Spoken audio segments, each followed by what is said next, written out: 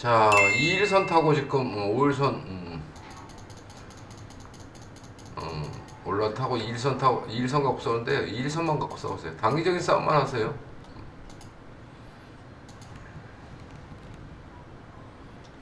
렌치.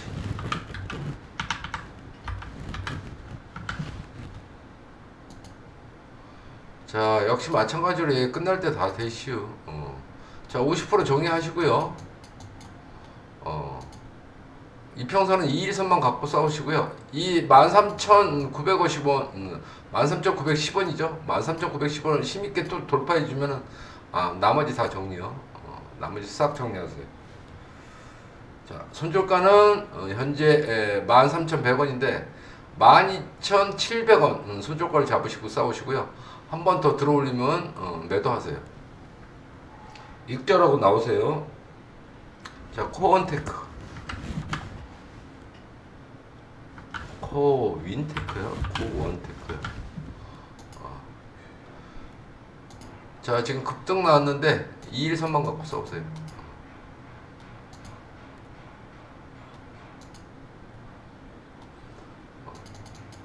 자, 급등이 나와서 단기적인 싸움을 어, 하셔야 될 것 같아요. 2일선만 갖고 싸우세요. 일단 단기적으로 2일선. 자, 안내. 어, 안철수 관련 주죠? 어. 자, 지금 음, 날짜가 얼마 안 남았어요. 어, 이번 주에 예, 예, 지금 결론이 나올 것 같은데 안내. 어, 자, 지금 5일선 올라탔으니까요. 현재 자리에서는 이제 5일선 갖고 싸우세요. 어, 한번 음, 슈팅이 이, 쭉 나올 가능성도 있어요. 안내. 나노팀. 나 나노팀. 나노림. 나노팀이 아니고 나노림 같네요. 아, 신규 상장인데 자, 분봉 갖고 한번 보자고요.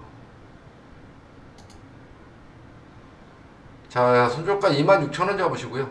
어, 26,000 지금 현재 150원인데 26,000원 잡으시고 어, 다시 이 3만 원대 오면은 다시 한번 어, 이 자리죠. 3만 원.